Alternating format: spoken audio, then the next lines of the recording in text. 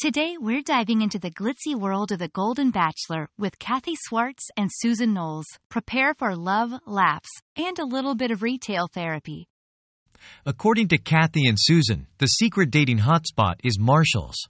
Yes, folks, love can bloom between the discounted bedding and off season footwear. In sadder news, Kathy and Susan shared about Jerry and Theresa's unexpected split. The drama, the tears, they unreturned Tupperware? And who do Kathy and Susan see as the next Golden Bachelorette? The suspense is killer, but their picks might just surprise you.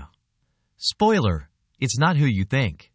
That's a wrap on today's golden dose of love and laughter. Remember, whether it's love or a good deal, sometimes the best finds are in the most unexpected places.